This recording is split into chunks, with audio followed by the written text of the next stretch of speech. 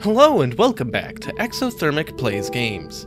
I'm Exothermic and the date today is Wednesday, September 11th, 2024. I've been doing a countdown of my favorite video games of all time through each day of the year, and coming in at number 112 is Child of Light.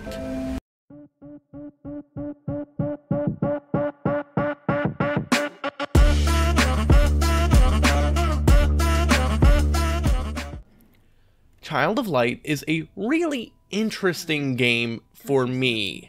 Some months after its initial release, I bought it on Steam and then it sat there for another few months in my library, as Steam games do. I had heard good things about it and it definitely seemed up my alley, so I was excited to try it. Based on how it looked, on trailers, on discussion of gameplay, length, everything, I thought to myself as I was installing it, I'm really excited to play this charming, beautiful, extremely stylized indie RPG. And then the Ubisoft launcher opened, and I did a double take. At that point in time, Ubisoft Montreal, the developer of Child of Light, had been pretty much exclusively pushing out Assassin's Creeds and Far Cries for the last few years. You know, big, open, or at least open ish world games with enormous budgets and tons of blow and really focusing on making big games for broad audiences. And then there's Child of Light, which is absolutely none of those things. Child of Light is a focused and definitely unique platforming role playing experience. The story here isn't admittedly the most amazing thing, but I'd still call it more than serviceable. Tragedy befalls the royal family, and the beloved princess grows ill and seemingly dies in the night. However, she's not actually dead, but is instead trapped in another world, while the kingdom is falling to ruin with her father consumed by grief. There's a magic mirror and some extremely predictable uh, twists and betrayals, so while the actual plot is nothing especially new, the delivery is done very well. The real thing to talk about with Child of Light is, of course, the gameplay there's really two games going on at the same time here. First is some very light platforming. I mean, just incredibly light. In less than an hour, you can fly. Uh, and the platforming doesn't matter anymore. There's some light puzzle work, though, mostly in the form of hitting switches in the right order and projecting symbols onto things. What that brings us to what makes the gameplay great.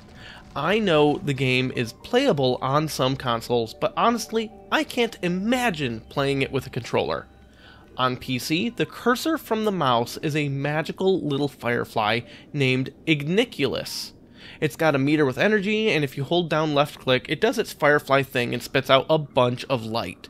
This can be used to solve puzzles, but importantly, it's also heavily involved in the combat. Combat in this game is turn-based with an incredible twist on the active time battle system. There's a bar at the bottom of the screen that has an icon for each character. Based on the character's speed stat, they fill the bar until they reach the red part at the end, which is when you select an action for them. That action is performed when they complete the red section, but if you're hit with an attack while in the red bar, it cancels your action and knocks you back down the meter a good chunk. Different actions have different cast times that indicate how quickly you'll progress through the red bar, so you have to do this sort of juggling of trying to get your abilities off before you get hit but if you don't think you'll be able to, you could just use the defend action, which is instantaneous, making you take less damage and allowing you to restart the overall meter partway through. That's already great, but on top of that, you can use Igniculus's light to slow whichever enemy the mouse is over.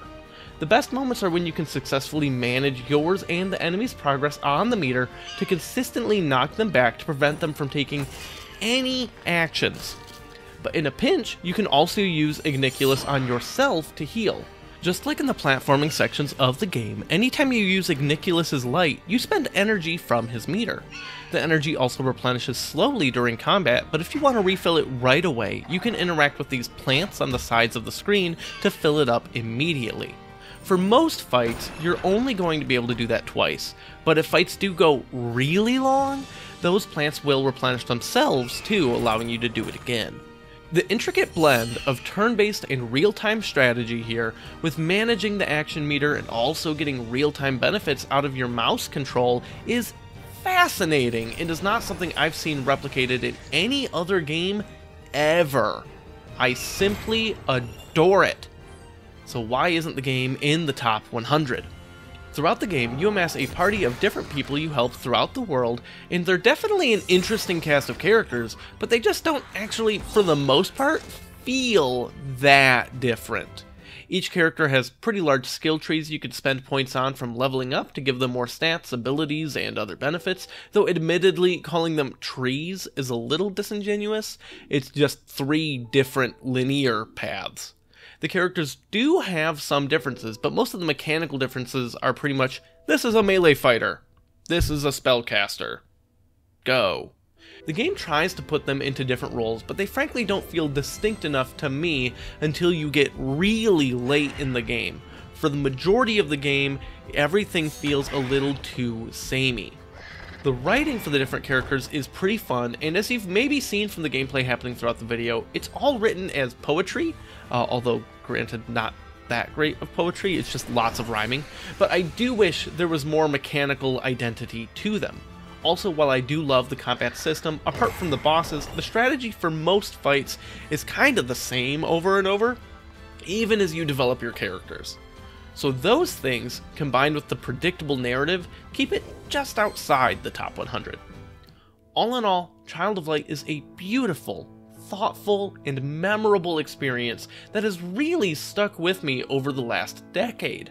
Its charming and quirky characters, combined with streamlined but in depth combat and highly stylized art style, make me forget I had to deal with the Ubisoft launcher to start playing.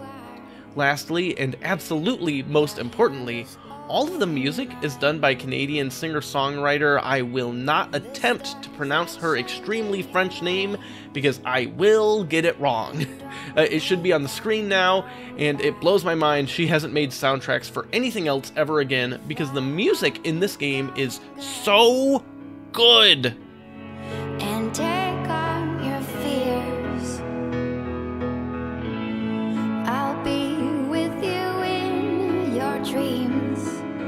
The world is darker than it seems.